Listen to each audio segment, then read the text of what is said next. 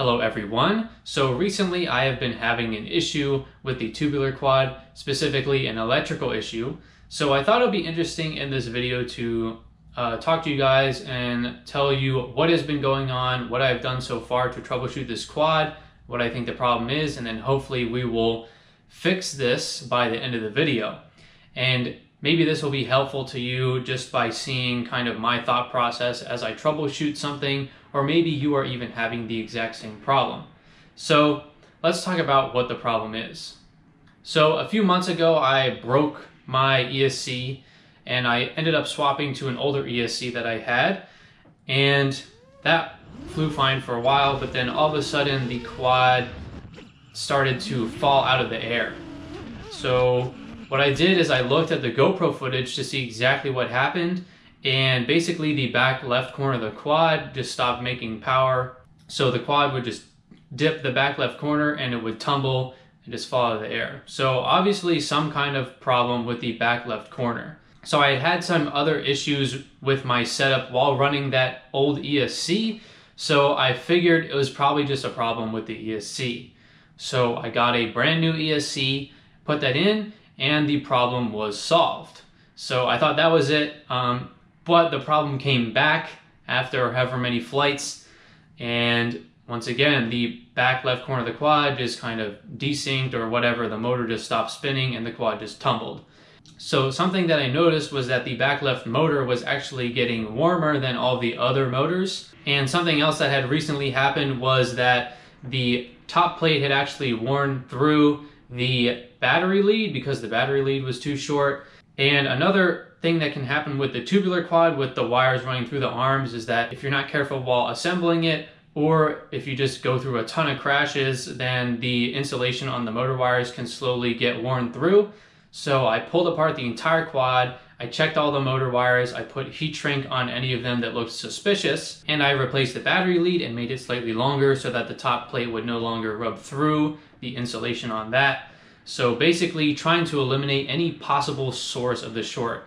And I thought at this point that the problem would be solved, but of course when I went out real quick to test it, as soon as I gave it more than maybe half throttle or so, same exact problem. So at this point, I don't think it's the ESC because I'm having the same exact problem on two separate ESCs. And I don't think it is some kind of shorting issue through the frame itself because I think I have eliminated all of those potential sources of shorting. So at this point, I think it has to be the motor is bad in some way. So what I think is going on is there is some kind of short within the windings of the motor itself.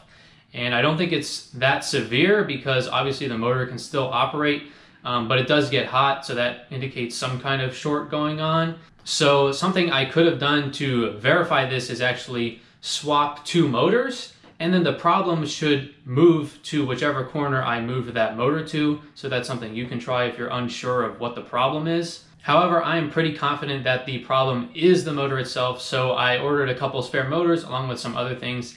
And I might as well show you guys what other things I ordered. So let's go ahead and take a look at what I got.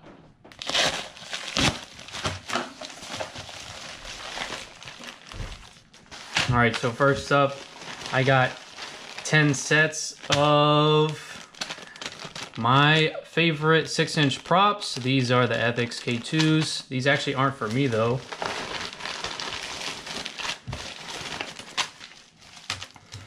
Okay, so I got three sets of bearings. I think I'm gonna do a bearing change on my motors at some point because some of the motors are getting pretty vibration-y, so I have those to do at some point. I got some standoffs, so you can guess what those are for. I got a 20 by 20 stack. This thing is tiny, so I've never run anything 20 by 20 before, but we're gonna try this out. But not on the current quad, so you can guess what this is going on. And then lastly, we have two motors. I like to run the Hyperlite 2206.5 1922 kV motors. They're really light and they have enough power and response for what I like. Get that nice and shiny. All right, so I'm gonna replace the back left motor with one of these brand new motors and then hopefully that fixes the problem. All right, so the shiny new motor is in. I tested the motors with the props off and everything works.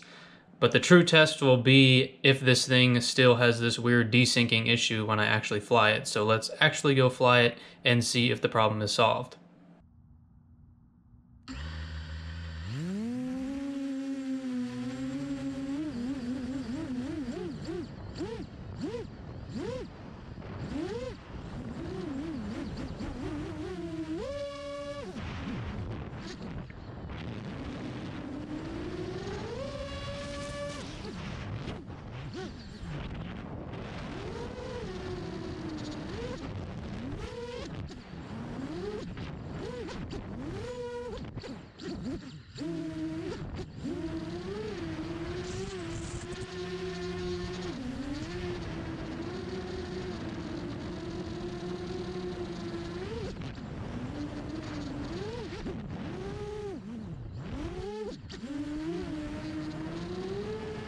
Alright, so after that test flight, I can confidently say that the problem has been resolved. So there definitely was something going on with that back left motor. I do think it was a short in the windings because the motor was getting hot.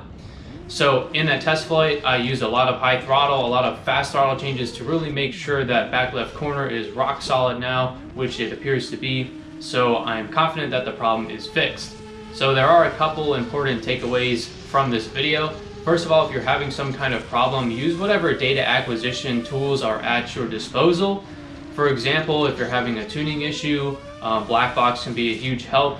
In my case, all I had to use was the GoPro footage to actually figure out what corner was being problematic. And the other takeaway is to use process of elimination to really pinpoint where the problem is coming from.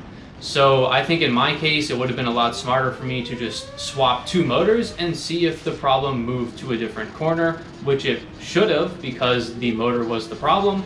And that would have prevented me from having to get an extra ESC because I immediately assumed that the ESC was the problem. So let me know down in the comments below what you think of this style of video. Please like this video if you liked it and make sure to get subscribed if you are not already. It helps me out a lot.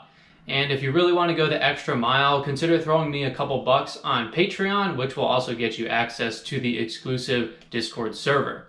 And lastly, if you can't get enough of me here on YouTube, consider following me on Instagram at timmy.r.c. Thanks for watching.